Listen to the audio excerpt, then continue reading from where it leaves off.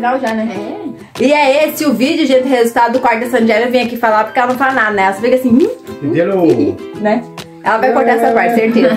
Então tá, esse é o vídeo. Fala aí se vocês gostaram, o que, que acharam da cor. Ai, vai não- O que, que vocês acharam da cor, o que vocês acharam desse quarto, gente. Tu viu que a gente mudou ah, o, o, o roupeiro, né? de lugar. Ele tava aqui de frente pra porta, daí a gente colocou aqui, ó. Porque daí ficou a mesinha aqui. Ficou ótimo nessa. Ai, pô, na Então tá, dá tchau. Ela falou tchau.